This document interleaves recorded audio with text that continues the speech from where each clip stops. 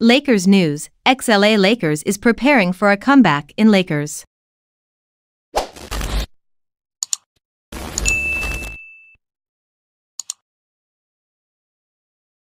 Former NBA point guard Darren Collison is allegedly returning to the league. The 34 year old, who last played for the Los Angeles Lakers for a 10 day stint earlier this season, has apparently signed with the South Bay Lakers of the NBA G League with the hopes of returning to the big leagues. NBA insider Shams Charania of The Athletic has the following report.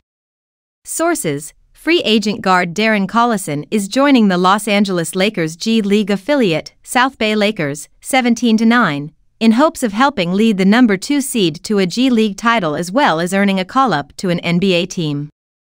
Collison joined the Los Angeles Lakers on a 10 day deal in December and participated in three games for the Purple and Gold. The 34 year old sat on the bench for only 12.3 minutes, averaging 1.3 points and 1.3 rebounds per minute.